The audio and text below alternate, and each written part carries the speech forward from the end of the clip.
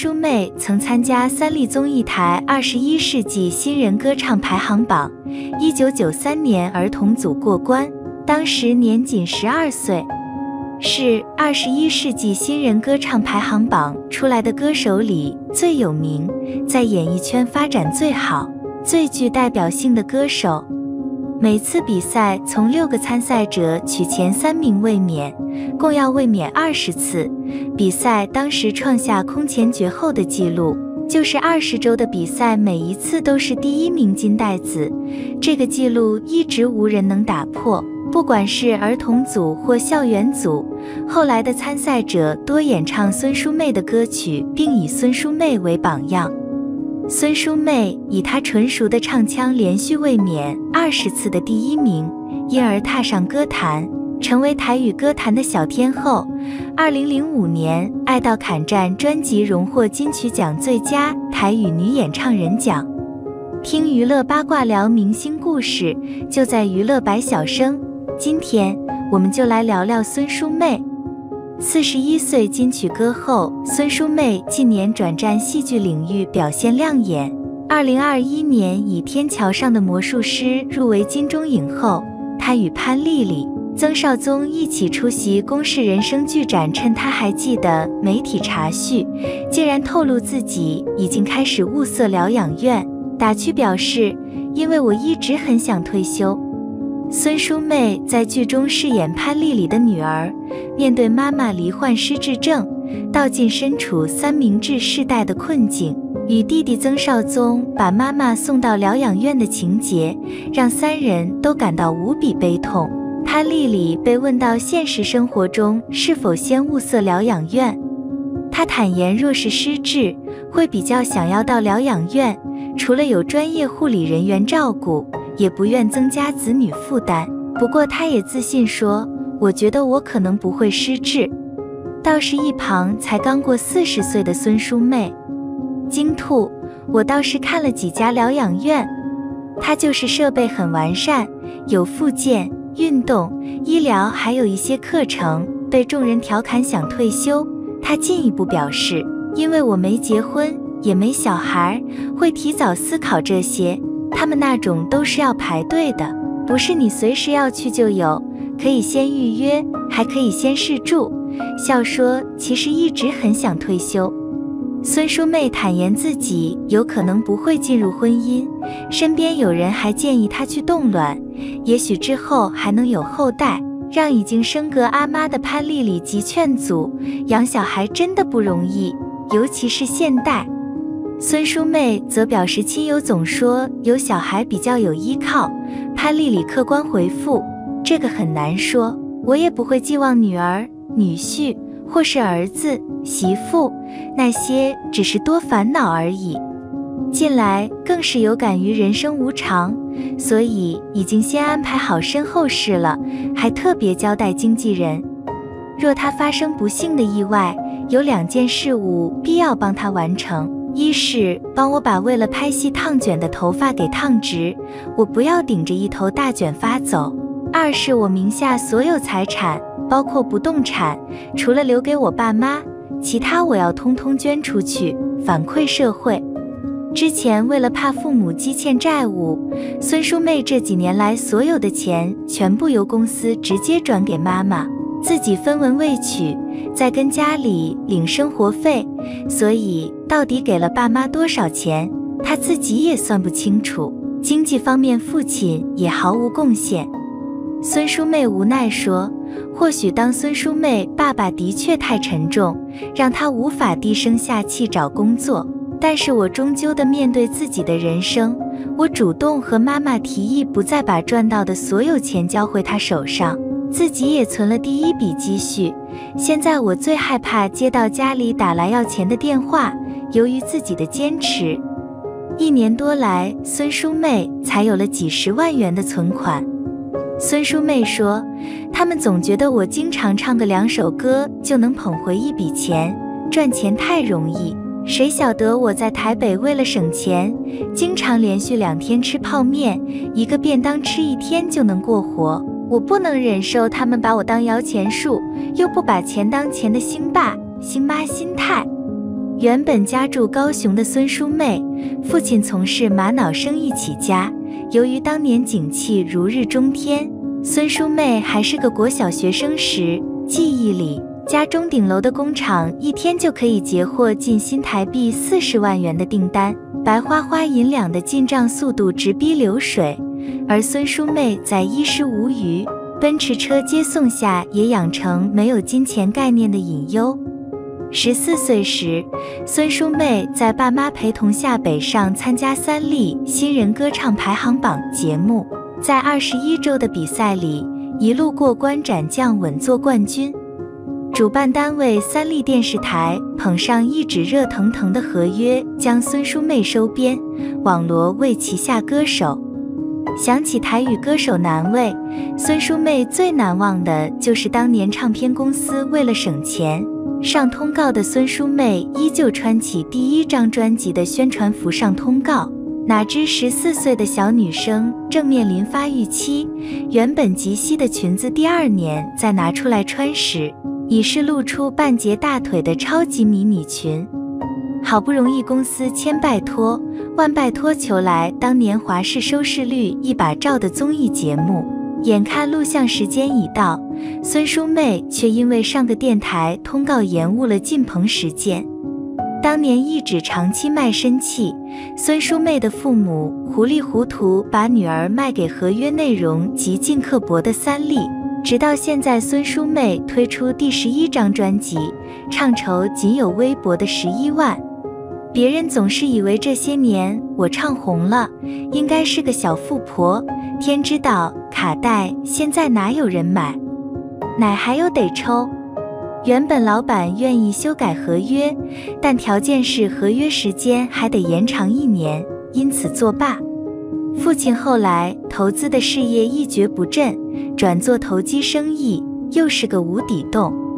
幸好孙淑妹大子的善解人意，让他窝心感动，过去陪着他跑通告，荒废学业的大子。现在半工半读考上二技，继续深造。如今姊妹俩最常做的一件事，就是关起门来担心父母不晓得又投资什么生意，会不会又被人盗钱骗钱，还是哪天蹦出一大笔庞大债务？孙淑妹这一唱，不晓得又得再唱多久。孙爸爸与孙妈妈对关于孙淑妹讲述他们把女儿当摇钱树的说法时，孙爸爸表示自己不善言辞，由孙妈妈代表发言。孙妈妈很客气的苦笑说：“最近家里状况不是很好，绝没有像外界所想象的那样。淑妹要存点钱，是我主动提出的。她已经满二十岁了，是该留点钱在身边。”而且她现在也会固定寄钱回家，多少钱不方便讲，有上万了。孙妈妈还表示，之前还有黑道上门要两千万跑路费，我们怎么可能有那么多钱？据媒体报道，孙淑媚初恋发生在高中十七岁，维持了三年多的时间，却因为家人极力阻拦，这段感情最后无疾而终。之后单身超过十六年，前两年好不容易又谈了一场姐弟恋，恋情刚萌芽被拍到，却因为对方小他五岁，父亲再度插手反对，使他又放弃了这段感情。不过孙淑妹透露，家中并不催促她的婚事，只担心她会被骗，加上本身个性较为封闭，连带影响感情观，面对爱情很理性。觉得单身也好，随缘就好，不会特别憧憬。孙淑妹从十四岁开始就参加歌唱比赛出道，国中时曾经在火车上听到几个大姐姐当她面骂，长那么丑当什么明星，为此难过不已。也正因为如此，日后在路上若有人认出他，第一个反应就是害怕，故意假装大舌头或是脸歪嘴斜说我不是。直到有次，孙淑妹被热情的摆摊妈妈认出来，她同样否认，却遭对方生气大骂：“你明明就是，为什么不承认？”当时她先是感到丢脸又不知所措，后来才改变想法，调试心情，认为别人只是喜欢自己，想打个招呼，没必要去否认。媒体报道，成功转战戏剧圈，台语金曲歌后孙淑媚穿着短裤。大秀美腿和一名长相斯文的壮男现身威风广场，壮男不时献殷勤，还主动搂她腰。孙淑媚也任对方的手在腰间游移。小两口一路开心逛街，最后到影城看电影，全程互动亲密，大放放闪。不过照片中，孙淑妹男友扶着她的腰，看起来关系已经很亲密。孙淑妹说。我爸看到报道吓一跳，想说他是谁，也问我为什么男生手要放我的腰。搞笑的是，见报后他才问男友当时怎么把手放她的腰，因为孙淑妹当下浑然不觉。她后来跟我说是怕我跌倒。艺人恋爱普遍比一般人辛苦，孙淑妹男友又是圈外人，问她恋情曝光后，男友会不会觉得压力很大？孙淑妹说：“我有问他要不要就别再继续交往，但他跟我说不要担心他，他不放弃。两人目前对感情有共识，虽然工作忙不能常见面，但彼此以结婚为前提交往。经纪人球球也很开心，他终于有新恋情。他很懂事，我们的观念、价值观也很相近。”孙淑媚细数被男友打动的原因，球球也透露在追求过程中，孙淑媚有感受到男生的诚意，强调他真的是个很单纯的人。被媒体拍到的照片中，男友看起来和孙淑媚年纪相当，不过孙淑媚害羞坦言，男友年纪比她小五岁，更直呼我以前是不能接受姐弟恋的。一直以来，孙淑媚的父母都管她很严。她也曾说，好友谢金燕都觉得追她的男生不够好，常挡她桃花。这次恋爱对象是长辈朋友的小孩。孙淑媚说：“我们认识不久，因为身旁朋友都觉得这个男生不错，鼓励我跟他出去走走。两人约会见光后，孙淑媚父母才知道恋情。尽管已经三十三岁了。”妈妈仍对他耳提面命，要他不能让男生知道家里住哪，也不要跟他单独出去。球球形容孙淑妹男友是常带着微笑、很有礼貌的男生。巧合的是，男方和女方父母其实有共同朋友，但之前小两口一直没机会认识。爸妈是否有想亲眼看看男友？孙淑妹有点紧张地说：“有啊。”他们说要来台北跟男生还有他爸妈吃饭，但我可能会因为工作太忙没有办法去。孙淑媚曾参加三立综艺台《二十一世纪新人歌唱排行榜》，一九九三年儿童组过关，当时年仅十二岁，是二十一世纪新人歌唱排行榜出来的歌手里最有名，在演艺圈发展最好、最具代表性的歌手。每次比赛从六个参赛者取前三名卫冕，共要卫冕二十次。比赛当时创下空前绝后的记录，就是二十周的比赛，每一次都是第一名金袋子。这个记录一直无人能打破，不管是儿童组或校园组，后来的参赛者多演唱孙淑媚的歌曲，并以孙淑媚为榜样。孙淑媚以她纯熟的唱腔，连续卫冕二十次的第一名，因而踏上歌坛。成为台语歌坛的小天后。二零零五年，《爱到坎站》专辑荣获金曲奖最佳台语女演唱人奖。四十一岁金曲歌后孙淑媚近年转战戏剧领域，表现亮眼。二零二一年，以《天桥上的魔术师》入围金钟影后。她与潘丽丽、曾少宗一起出席公视人生剧展，趁她还记得媒体查叙，竟然透露自己已经开始物色疗养院。打趣表示：“因为我一直很想退休。”孙淑媚在剧中饰演潘丽丽的女儿，面对妈妈罹患失智症，道尽身处三明治世代的困境，与弟弟曾少宗把妈妈送到疗养院的情节，让三人都感到无比悲痛。潘丽丽被问到现实生活中是否先物色疗养院，她坦言，若是失智，会比较想要到疗养院，除了有专业护理人员照顾，也不愿增加子女负担。不过她也自信说，我觉得我可能不会失智。倒是一旁才刚过四十岁的孙淑妹惊吐，我倒是看了几家疗养院，它就是设备很完善，有复健、运动、医疗，还有一些课程。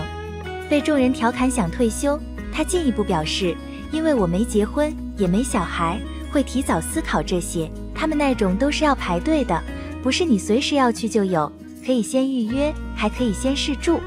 笑说其实一直很想退休。孙淑妹坦言自己有可能不会进入婚姻，身边有人还建议她去冻卵，也许之后还能有后代，让已经升格阿妈的潘丽丽急劝阻：养小孩真的不容易，尤其是现代。孙淑妹则表示，亲友总说有小孩比较有依靠，潘丽丽客观回复。这个很难说，我也不会寄望女儿、女婿或是儿子、媳妇，那些只是多烦恼而已。近来更是有感于人生无常，所以已经先安排好身后事了，还特别交代经纪人，若他发生不幸的意外，有两件事务必要帮他完成：一是帮我把为了拍戏烫卷的头发给烫直，我不要顶着一头大卷发走；二是我名下所有财产，包括不动产，除了留给我爸妈。其他我要通通捐出去，反馈社会。之前为了怕父母积欠债务，孙淑妹这几年来所有的钱全部由公司直接转给妈妈，自己分文未取，再跟家里领生活费。所以到底给了爸妈多少钱，她自己也算不清楚。经济方面，父亲也毫无贡献。孙淑妹无奈说：“或许当孙淑妹爸爸的确太沉重，让她无法低声下气找工作。但是我终究得面对自己的人生。”我主动和妈妈提议，不再把赚到的所有钱交回她手上，自己也存了第一笔积蓄。现在我最害怕接到家里打来要钱的电话。由于自己的坚持，一年多来，孙淑妹才有了几十万元的存款。孙淑妹说：“他们总觉得我经常唱个两首歌就能捧回一笔钱，赚钱太容易。谁晓得我在台北为了省钱，经常连续两天吃泡面，一个便当吃一天就能过活。”我不能忍受他们把我当摇钱树，又不把钱当钱的新爸新妈心态。原本家住高雄的孙淑妹，父亲从事玛瑙生意起家。由于当年景气如日中天，孙淑妹还是个国小学生时，记忆里家中顶楼的工厂一天就可以截获近新台币四十万元的订单，白花花银两的进账速度直逼流水。而孙淑妹在衣食无余。奔驰车接送下，也养成没有金钱概念的隐忧。十四岁时，孙淑妹在爸妈陪同下北上参加三立新人歌唱排行榜节目，在二十一周的比赛里，一路过关斩将，稳坐冠军。主办单位三立电视台捧上一纸热腾腾的合约，将孙淑妹收编，网罗为旗下歌手。想起台语歌手难为，孙淑妹最难忘的就是当年唱片公司为了省钱。上通告的孙淑媚依旧穿起第一张专辑的宣传服上通告，哪知十四岁的小女生正面临发育期，原本及膝的裙子，第二年再拿出来穿时，已是露出半截大腿的超级迷你裙。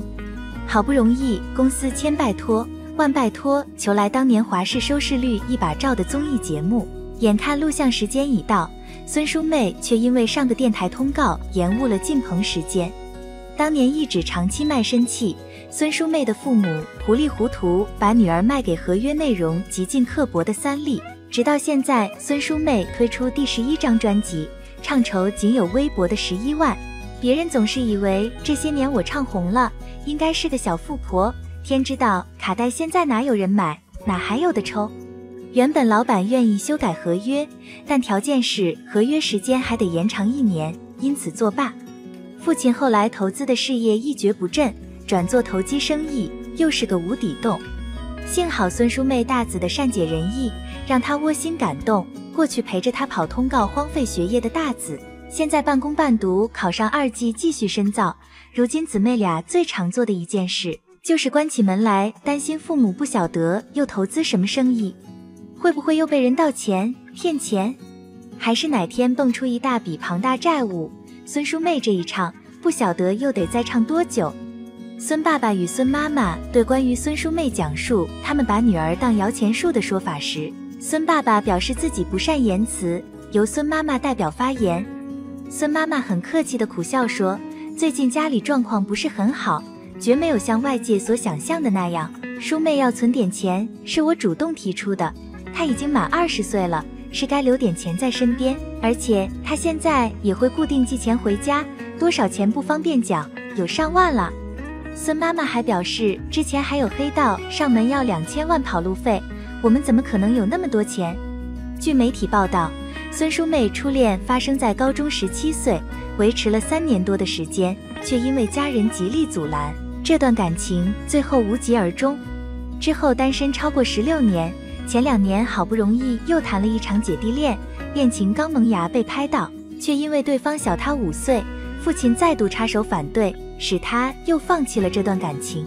不过孙淑妹透露，家中并不催促她的婚事，只担心她会被骗，加上本身个性较为封闭，连带影响感情观，面对爱情很理性，觉得单身也好，随缘就好，不会特别憧憬。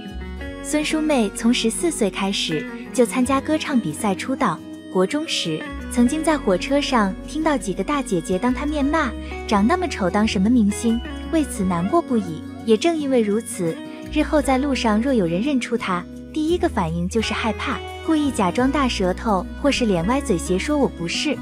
直到有次，孙淑妹被热情的摆摊妈妈认出来，她同样否认，却遭对方生气大骂：“你明明就是。”为什么不承认？当时他先是感到丢脸，又不知所措，后来才改变想法，调试心情，认为别人只是喜欢自己，想打个招呼，没必要去否认。媒体报道，成功转战戏剧圈，台语金曲歌后孙淑媚穿着短裤，大秀美腿，和一名长相斯文的壮男现身威风广场。壮男不时献殷勤，还主动搂她腰，孙淑媚也任对方的手在腰间游移。小两口一路开心逛街，最后到影城看电影，全程互动亲密，大放放闪。不过照片中，孙淑妹男友扶着她的腰，看起来关系已经很亲密。孙淑妹说：“我爸看到报道吓一跳，想说他是谁，也问我为什么男生手要放我的腰。搞笑的是，见报后她才问男友当时怎么把手放她的腰，因为孙淑妹当下浑然不觉。她后来跟我说是怕我跌倒。”艺人恋爱普遍比一般人辛苦。孙淑妹男友又是圈外人，问她恋情曝光后，男友会不会觉得压力很大？孙淑妹说：“我有问他要不要就别再继续交往，但他跟我说不要担心他，他不放弃。两人目前对感情有共识，虽然工作忙不能常见面，但彼此以结婚为前提交往。经纪人球球也很开心，他终于有新恋情。他很懂事，我们的观念。”价值观也很相近。孙淑妹细数被男友打动的原因，球球也透露，在追求过程中，孙淑妹有感受到男生的诚意，强调他真的是个很单纯的人。被媒体拍到的照片中，男友看起来和孙淑妹年纪相当，不过孙淑妹害羞坦言，男友年纪比她小五岁，更直呼我以前是不能接受姐弟恋的。一直以来，孙淑妹的父母都管她很严。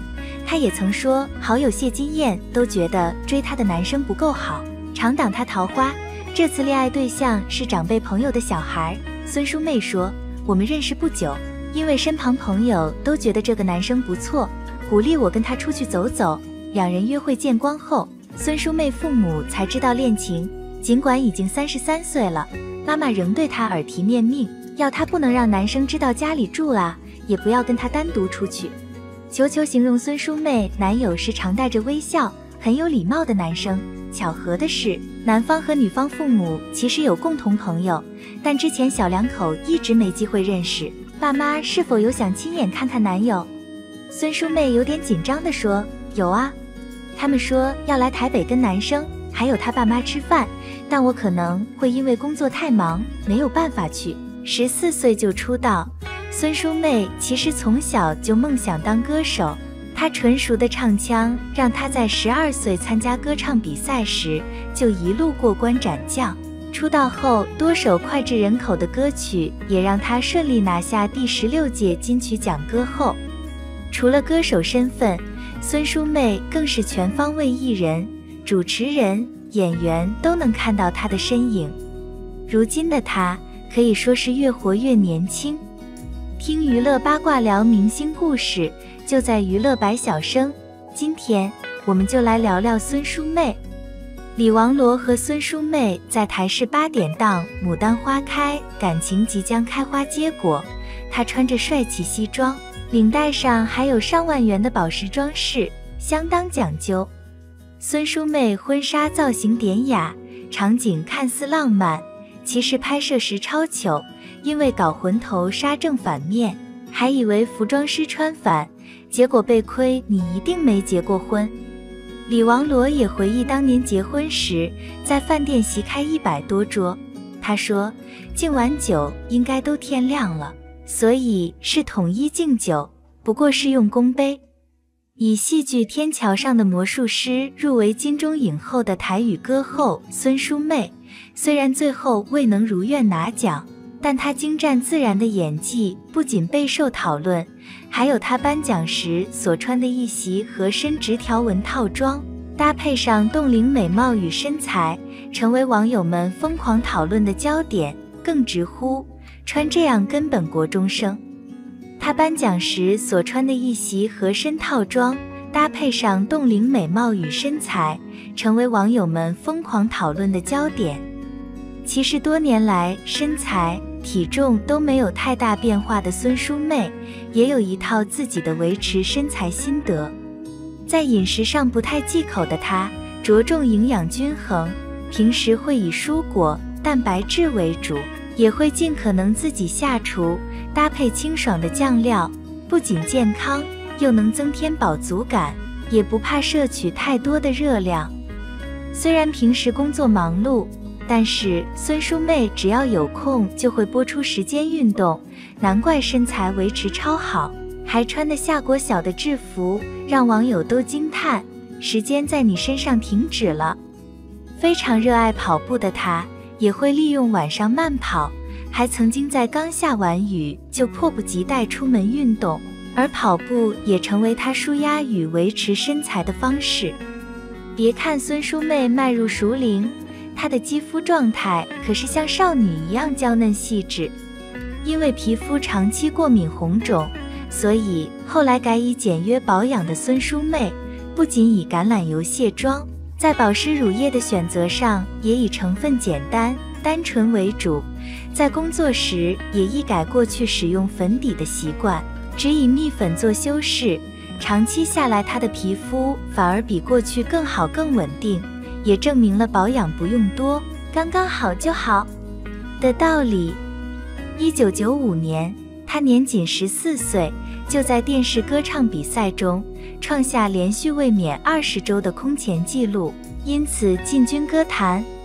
但很少人知道，在那连续二十周比赛中，驱动他的并不是过关斩将的成就感，而是不能让家人失望的责任。我对比赛这件事没什么想法，是最后几周不希望特地来台北的亲戚朋友看到我没过关，才慢慢有了一些压力。其实不止比赛，就连唱歌、发片也都不是孙淑媚主动想做的事，是我妈希望我学唱歌，她把自己的梦想投射在女儿身上。之后签唱片约，因为还未成年。也是爸妈帮我做决定，他淡淡的说。出道后的很长一段时间，孙淑媚都是圈子里年纪最小的那个人，理所当然的被悉心呵护。每次出门总有宣传或助理帮忙打点一切，甚至从来不曾自己掏钱购物。高中时，有天结束通告后，孙淑媚要赶往阳明山的华冈艺校上课。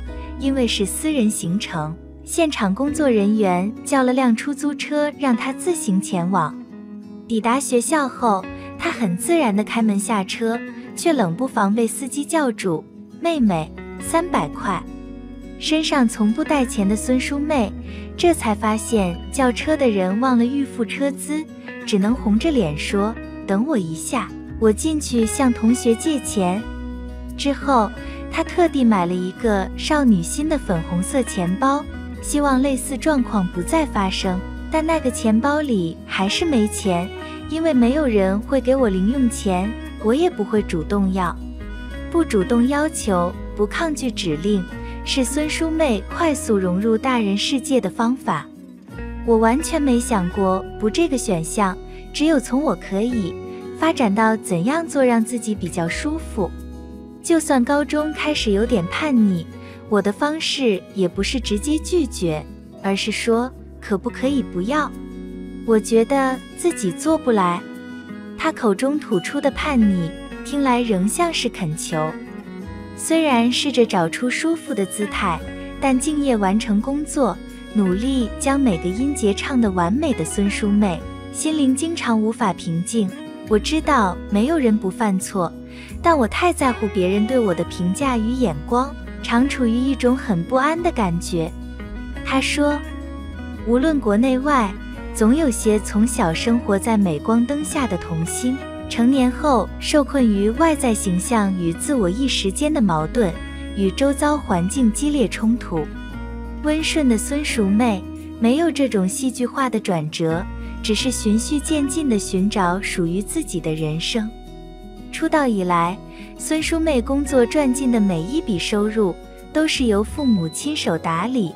但在二十五岁那年，她主动找母亲促膝长谈，表达想自己存钱的期望。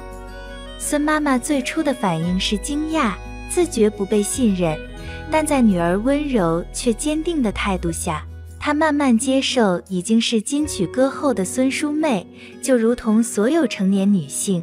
理应在经济上自立。二十六岁生日那天，孙淑妹终于拥有第一笔个人储蓄。自行运用金钱后，事业上的突破机会也跟着到来。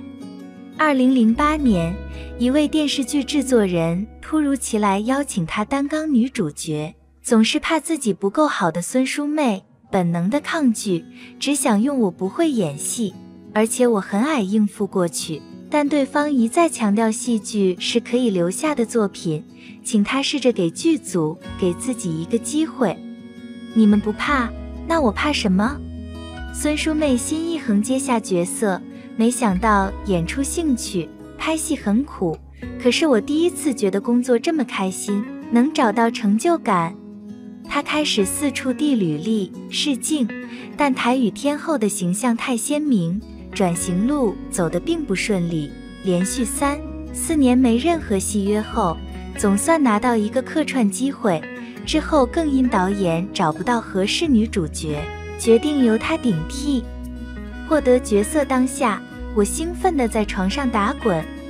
一位歌后，竟因戏约而狂喜。她自剖其中关键，唱歌是从小被推出去，工作也一直来。演戏是我主动追求的，虽然演出邀约不多，但孙淑妹一样努力敬业。如果我没办法让人抽离孙淑妹这三个字，就只能在每个角色下苦心，做我当下最大的努力。我对工作还是很佛系，不争不抢，等机会来找我。他说，二零二零年，导演杨雅哲带着《天桥上的魔术师》里。性格泼辣、满口脏话的中年妇女角色点妈找上门。过去只有苦情女子这条戏路的孙淑妹，第一时间就点头答应。尽管进入这个与她真实性格反差极大角色的代价是成天用尽全力嘶吼，一度激动到额头微血管破裂淤青，收工后总是精疲力竭，但得到的成就也前所未见。首度入围金钟奖戏剧节目最佳女主角，最终没能抱回金钟奖座，但曾缺乏自信的孙淑媚难得为自己骄傲说：“我觉得自己被认同是个演员，有被纳入圈子，与其他专业演员是一国的。”她的演出很有爆发力，当然导演的指令明确功不可没，但她吸收转化的能力也非常强。在剧中饰演点妈丈夫的灭火器乐团主唱杨大正观察孙淑妹在片场永远保持吸收状态，是天生的好演员。只是过去她的演技天分并未被充分察觉。以前的我了解自己，但看不到其他可能。杨雅哲发现我可以做到这样，我被开发了。这次的演出经验让孙淑妹更确定自己的价值绝不只是迎合他人要求，回归音乐本行也是如此。他还想做好唱片，但不想复制过去的成功模式，因此筹备中的新专辑，他就像与他曲风截然不同、擅长朋克摇滚的杨大正邀歌。我开始当歌手的时候，身边工作人员都比我大十几岁，他们都会跟我说：“我相信你做得到。”不知不觉我就被这句话洗脑，觉得做不到就是该死。每次表演都会检讨自己做得好不好，演戏反倒放松，因为我是在经历角色的生活，生活就会有喜怒哀乐，你不会检讨，想自然的喜怒哀乐。现实生活也是。出道超过二十五年，孙淑妹终于体会，表演的意义远不只是追求别人肯定。学着诚实倾听内心真实感受的她，也逐渐找到与自己和谐共处的方式。孙淑媚常年保持捐发习惯，只要拍戏没有特殊需求，就一直维持不染不烫，已经顺利捐了好几次头发。她二十三日开心分享，头发又长到了足够的长度，可以再次捐出。于是自己动手把长发剪下，每次收割都是莫名的兴奋感啊！孙淑妹分享剪发的影片，将已经留到腰部的长发分成几束，自己拿着剪刀，一刀就利落的剪下一束，还愉快的对着镜头展示。她自信表示。我的头发长的速度蛮快的，只要这中间没有因为工作需求的造型染烫，大概一年多就能采收三十公分左右，而且发质超好的哦。孙淑妹捐发捐成习惯，多年来坚持不染不烫，直到二零二零年拍《天桥上的魔术师》，才首次烫了一颗爆炸头。但拍完戏后，她又开始认真的养头发。如今再次顺利捐发，开心誓言如果可以，希望能一直捐。虽然现在长度只剩耳下几公分，但已经在期待下一次动刀捐发的那天。这里是娱乐百小生，以上就是今天分享的所有内容。喜欢视频别忘记点赞关注，也期待你在评论区的留言。我们下期再见。